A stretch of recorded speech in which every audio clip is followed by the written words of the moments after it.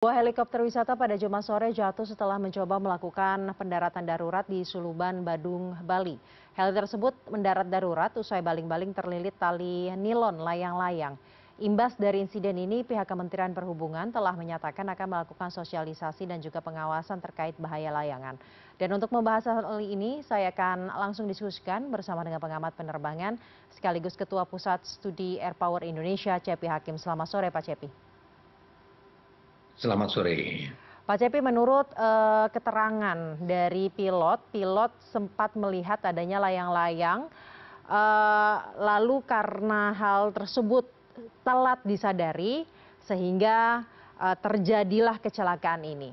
Sebenarnya dari kronologis yang mungkin Bapak dapatkan, seperti apa? Apakah kan karena dalam Perda Bali ini sudah ada larangan layang-layang tidak boleh terbang lebih dari 100 meter. Layang-layangnya yang lebih dari 100 meter atau pesawatnya yang memang sedang terbang rendah, Pak? Helikopternya maksud saya. Ya, ya. ya saya kasih pengetahuan umum dulu boleh nggak sebagai pendahuluan? Siap, Bapak.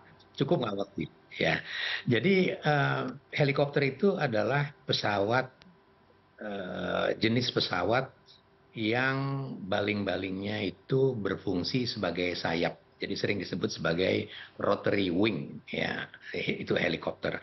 Dan keistimewaan dari rotary wing pada umumnya adalah dia lebih kecil dari pesawat-pesawat terbang pada umumnya. Pesawat-pesawat terbang yang bersayap tetap pada umumnya, dia lebih kecil.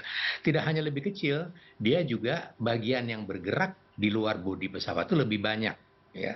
Jadi ada main rotor blade namanya, baling-baling utama di di di kepala kepala pesawat biasanya dan ada baling-baling uh, di ekor ya uh, yang berada di, di di ekor pesawat.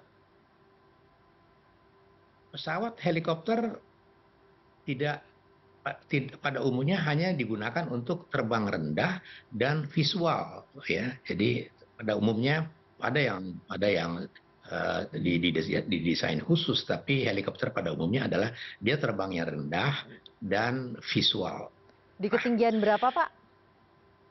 Ya, kalau kalau terminologi terbang rendah di dunia penerbangan pada umumnya itu 500 feet ya di atas permukaan. Ya, di atas permukaan 500 feet. Ya, itu kalau penerbangan sipil ya. Kalau penerbangan uh, militer uh, low low level flying itu lebih rendah dari itu. Tetapi yang saya ingin garis bawahi di sini dia pasti terbang rendah karena apa? Karena pertama dia memang helikopter bukan didesain untuk terbang tinggi dan kedua misinya adalah terbang wisata. Jadi terbang wisata kan nggak mungkin tinggi tinggi ngapain orang wisata lihat dari tinggi tinggi jadi pasti terbang rendah ya. Nah di sinilah diperlukan peran dari otoritas penerbangan nasional ya. Saya yakin udah ada udah ada uh, aturannya. Dan juga peran dari pemerintah daerah dalam pengertian wilayah yang digunakan sebagai wisata udara ya sebagai wilayah wisata udara itu harusnya di bawah pengawasan, di bawah pengelolaan pengawasan bersama antara otoritas penerbangan nasional dan pemerintah daerah, aparat pemerintah daerah. Dan saya percaya juga pasti udah ada juga. Nah, kelemahan kita biasanya di pengawasan ya. Nah, kalau dikatakan sang pilot sudah melihat uh, uh, layangan dan dia kemudian bilang terlambat dan sebagainya, dia pasti terlambat Kenapa? Karena kan kecepatan uh, helikopter kan relatif cepat ya, relatif cepat, relatif ya terhadap foreign object damage, terhadap uh, rintangan atau obstacle yang dihadapi. Ya. Saya perlu tambahi lagi tadi bahwa uh, pesawat helikopter itu rawan terhadap FOD, ya, foreign object damage, terhadap benda asing yang merusak apa itu antara lain ya, layangan, antena, bendera dan sebagainya. Nah, dengan demikian, apalagi apalagi dia misinya adalah untuk wisata udara, maka harus ada satu pengelolaan yang terpadu, yang well organized, yang penuh dengan perencanaan dan penuh dengan pengawasan sehingga tidak terjadi kecelakaan yang konyol ya. Eh, ini kecelakaan kan konyol banget ya, jelas dia terbang wisata nabrak nabrak layangan. Yang layangan itu juga banyak uh, bagian dari dari pariwisata kan ya. mungkin. Jadi jadi alangkah alangkah cemarnya kita kalau sampai terjadi lagi. Ini, ini mudah-mudahan ini yang terakhir. Kecelakaan pesawat wisata eh, menabrak bagian dari pariwisata itu sendiri. Itu layangan kan bagian dari wisata Ya. di Bali. Dan bulan-bulan tertentu di Bali itu memang ada ada ada kontes-kontes layangan ya. dan kita semua tahu itu ya nah jadi negasannya di sini adalah kira-kira adalah pengawasan karena peraturan atau regulasi lokal ya lo- local rules itu pasti udah ada dan juga pengelolaan wilayah yang akan digunakan sebagai wilayah atau kolom udara untuk tourism untuk pariwisata pasti juga sudah diketahui dan diatur oleh pihak Pemda dan aparatnya. Jadi sehingga dalam hal ini diperlukanlah pengawasan. Karena dalam penerbangan itu sederhana sebetulnya. Yang pertama diperlukan eh, disiplin ya, self disiplin yang tinggi dan self disiplin yang tinggi itu nggak mungkin sehingga diperlukan close continuous monitoring ya, pengawasan ketat yang terus menerus. Dan pengawasan ketat yang terus menerus pun belum bisa menjamin. Oleh sebab itu harus ada tindakan efek jerah apabila ada terjadi pelanggaran. Harus ada law enforcement dari kejadian accident ini supaya tadi kan dengan efek jerah maka tidak terulang kembali. Kita berharap kejadian ini yang terakhir di Bali di daerah wisata yang Baik. menyelenggarakan wisata udara cilakanya kecelakaannya nah bagian dari wisata di Baik. Bali ya. Berbicara mengenai efek jerah, Pak, Ce- eh, Pak Cepi, apakah dari analisa Anda, adakah dugaan pelanggaran prosedur keselamatan atau eh, hal lain yang kemudian dapat dipertanggungjawabkan dan orang tersebut harus eh, diberikan sanksi? Itu kerjanya KNKT nanti ya karena untuk mengetahui hal itu harus diselidiki dulu. Bener apa enggak nih? Dia bener nggak di daerah wisata udara terbangnya misalnya? Dia bener nggak udah dapat izin terbang di situ? Dia bener nggak eh, bahwa daerah itu memang sudah di close sudah di, di, di, di- sudah di declare sebagai wisata udara? Itu kan perlu diselidiki bener apa enggak? Ya jadi saya nggak bisa mengira-ngira di sini sehingga memutuskan oh ini yang salah pilotnya. Oh ini yang salah Pemda. Nggak nggak bisa. Jadi KNKT memang sebuah institusi resmi ya, ya, eh, untuk menyelidiki penyebab kecelakaan pesawat terbang dengan satu hal tujuannya untuk tidak terjadi kembali kecelakaan dengan penyebab yang sama. Jadi bukan bertujuan untuk mencari siapa yang salah dan Hmm. siapa yang benar, tidak. Tapi KNKT itu tugas utamanya adalah agar kecelakaan pesawat dengan penyebab yang sama tidak terulang kembali di masa depan. Yang pasti harus Jadi ada harus sanksi yang di yang pasti harus ada Harus. sanksi yang kemudian ditegakkan ya, Harus. Pak. Ya.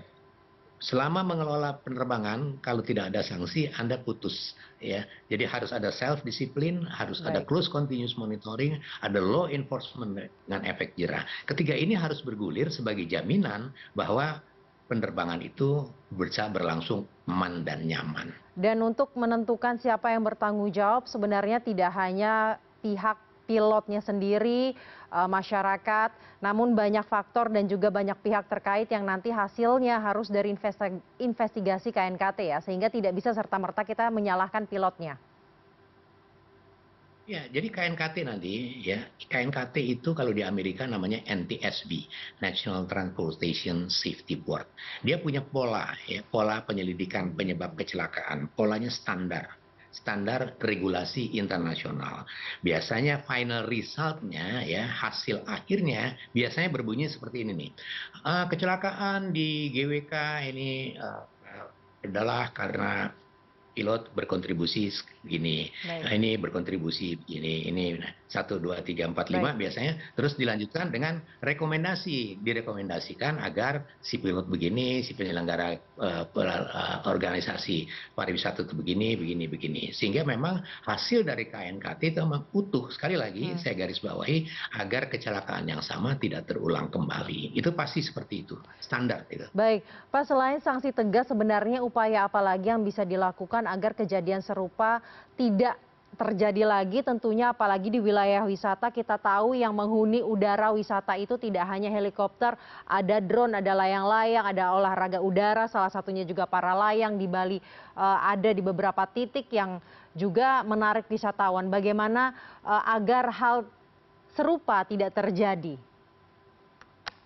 saya selalu menggarisbawahi itu tadi ya, tiga tadi itu. Dunia penerbangan sebenarnya itu conveyor belt menuju ke civilization ya. Sebetulnya itu sebuah sebuah jalur mengantar kita ke dunia yang beradab. Kenapa? Dalam dunia penerbangan ya, orang semua harus patuh aturan.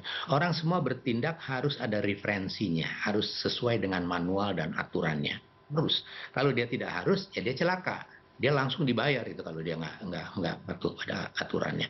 Jadi dunia penerbangan ya, ya terutama yang ya, dunia teknologi sebetulnya, terutama di dunia penerbangan itu sebenarnya mengajarkan kita semua ke peradaban, ke satu ke satu uh, ke satu komunitas yang beradab yang teratur, yang penuh dengan keteraturan, yang penuh dengan disiplin. Sehingga tadi ya analisis saya mengatakan bahwa dalam dunia penerbangan harus tiga hal itu bergulir. Self disiplin yang tinggi, terus continuous monitoring ini ya, pengawasan ketat yang terus-menerus dan law enforcement dengan efek jerah. Itu kuncinya. Selama itu digulirkan, tiga simpul ini bergulir, maka kecelakaan itu bisa dikurangi ya. Kecelakaan itu nggak bisa dihilangkan sama sekali. Kecelakaan bisa terjadi kapan saja. Tetapi selama dia dia di, dia diikuti aturan-aturannya dan e, regulasinya dan sebagainya apabila terjadi kecelakaan pun maka kesalahan atau korban atau uh, apa pun nama itu bisa dikurangi, jauh dikurangi. Banyak kita dengar ada pesawat yang terbakar, kemudian dia bisa landing selamat. Kenapa? Karena dia patuh aturan bahwa kalau ada engine yang terbakar dia harus melakukan ABCD. Kalau dia landing di uh, di, di aerodrome, aerodromnya harus melaksanakan ABCD dan sebagainya. Semua sudah ada. Jadi semua teratur, semua ada aturannya, semua ada regulasinya. Semua itu harus diikuti, tidak ada Baik. kompromi. Ya. Selain disiplin mengikuti aturan yang ada, kemudian penegakan dan juga pengawasan yang harus terus dilakukan secara berkelanjutan, sebenarnya ada atau tidak Pak perubahan maupun perbaikan revisi penambahan yang dapat dilakukan dalam undang-undang atau peraturan-peraturan keselamatan penerbangan yang ada khususnya di area wisata? Ya. Uh, peraturan itu dinamis ya. ya, dia berjalan seperti ini. Aturan induk dari penerbangan di seluruh dunia itu ada namanya di uh, CISR, Civil Aviation Safety Regulation. Semua negara anggota Perserikatan Bangsa-Bangsa harus mematuhi CASR. Ya. Kemudian di negara masing-masing harus ditunjuk satu institusi yang bertanggung jawab terhadap keselamatan penerbangan yang namanya Otoritas Penerbangan Nasional. Biasanya di Department of Transportation eh, dan di Indonesia itu Kementerian Perhubungan dalam hal ini adalah Direktorat Jenderal Perhubungan Udara. Dia sebagai National Aviation Safety authority di, di, di Indonesia. Tentu saja dia harus bekerja sama dengan instansi-instansi dan institusi lain ya.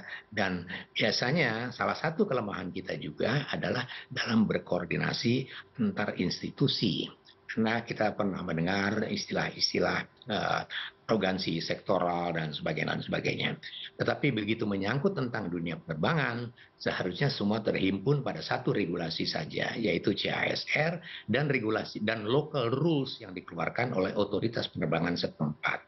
Apa itu local rules, apa itu local regulation itu adalah kesepakatan dari otoritas penerbangan yang di daerah wisata itu dengan pemerintah daerah sebagai penyelenggara wisata di sana. Nah, koordinasi inilah yang bisa saja ada kerawanan-kerawanan yang tidak mudah untuk dilaksanakan di lapangan. Dan ini berkembang. Oh terjadi kecelakaan setelah begini. Kalau gitu ini dirubah ya dirubah. Dan itu memang tugas kita semua untuk mengupdate aturan-aturan. Aturan-aturan itu selalu mengalami updating namanya. Itu selalu. Dari mana updating? Antara lain dari hasil penyelidikan penyebab kecelakaan pesawat terbang. Jadi setelah KNKT menyelidiki ini, dia akan melaporkan itu ke ICAO dan ICAO itu mempublish ke seluruh dunia. Sehingga seluruh dunia itu belajar, eh kamu kalau terbang helikopter di tempat yang banyak layangan, jangan nih, nanti terjadi seperti ini misalnya. Itu dipublikasikan universally ya, secara global supaya penikmat penerbangan di seluruh dunia itu terlindungi dari sisi, dari sisi aviation safety. Baik. keselamatan penerbangan tanggung jawab kita semua itu ya Pak Cepi. Terima kasih Ketua Pusat Studi Air Power Indonesia, Cepi Hakim telah bergabung bersama kami sore hari ini di CNN Indonesia. Terima kasih. Salam sehat.